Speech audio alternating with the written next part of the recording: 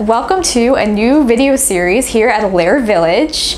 Uh, we will be starting up a cooking series called Cooking with Felicity where we try out new historic recipes, some of them adapted for a modern audience. We're excited to start this new series, so if you're not already subscribed to our YouTube channel, make sure you click the like and subscribe button already and turn on notifications so that way you will be notified every time we post a new video. Today, we're in honor of Valentine's Day, we're making chocolate truffles, which will be from the recipe book from Fanny Pearson Cranes. Her receipts 1796. Fanny uh, Pearson Crane was a New Jersey born native who had a passion for cooking and hosting. The Crane estate was located in Montclair, New Jersey, and you can actually still purchase this cookbook on their website. Uh, there will be a link in the description down below. This recipe is actually a bit earlier than us. We uh, represent the 1830s here within Allaire Village, and uh, but it still would have been something that people would have continued to make as recipes are passed down over time.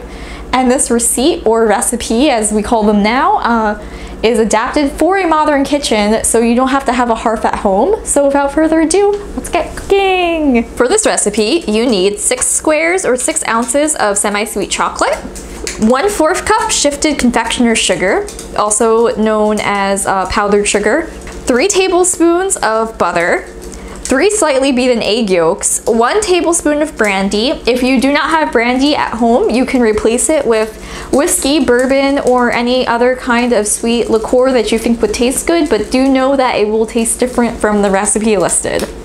Grated chocolate and one half tablespoon of cinnamon. For this recipe, you'll need a double boiler. You can either purchase one or create your own by putting a big pot on the stove filled with water and then put a smaller pot inside of that pot. So in your double boiler, you want the water on the bottom to be hot but not boiling.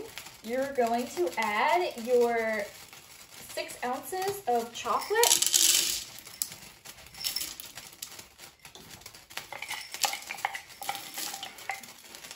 along with three tablespoons of butter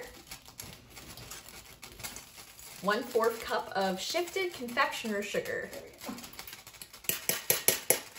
So you're gonna keep this on heat and stir it until it's completely melted. You can already see it starting to melt on the bottom. So this uh, book is actually really interesting because some of the recipes have fun little uh, information. So this chocolate truffle recipe is when Thomas Jefferson moved into the White House in 1801, he brought with him a fondness for French cookery and customs acquired when he was American minister to France. His influence was felt throughout the United States and nonetheless in the Crane household where the French chocolate truffles found their place in the coalition table. Okay, when the mixture is melted, make sure you turn it off the heat. Take a small portion and mix it into three egg yolks. This is called tempering the egg so that when you put it into the larger mixture, it does not turn into scrambled eggs. Then you can return this to the hot mixture and then you are going to stir that together really well. Again, you want to be fast, so you do not make scrambled eggs. I cannot stress how many times I have done this and accidentally just had a bunch of egg in my mixture. and look how creamy and delicious that looks.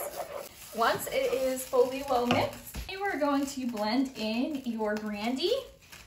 After mixing everything in, you're just gonna let chill for one to two hours so you can roll it into balls. Mix one, teaspoon, one half teaspoon of cinnamon into the chocolate ground up mixture.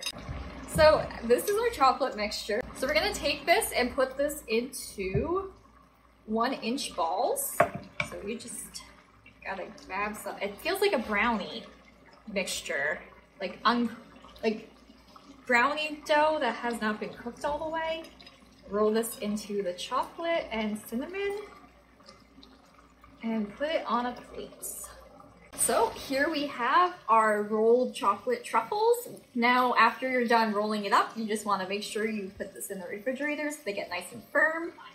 Firmed up, you're going to want to store it in the refrigerator so it does not become this kind of brownie dough consistency. So these have been cooling for about an hour and if you look inside, it actually has this really nice like fudgy looking texture. It's very smooth consistency. I'm excited to try it.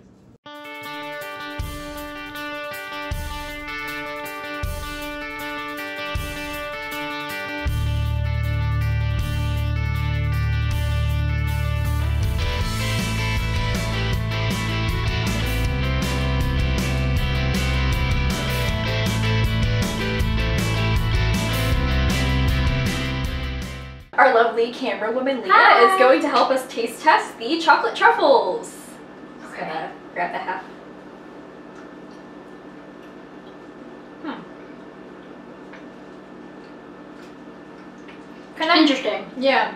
They kind of have not so much a truffle kind of texture, but Mm-hmm. a very soft, kind of fudgy Yeah. brownie dough that's not cooked all the way kind of flavor to it. I think if you wanted a harder consistency, you should put it put it in the freezer. You could have put it in the freezer too to make it a little harder. Possibly, yeah. But they're really good. Mhm. And it's the chocolate isn't too overpowering, which is really good because I'm not a huge Yeah. chocolate fan myself. And you do get a slightly kind of like boozy flavor at the end. Mm-hmm. Oh yeah, good, right.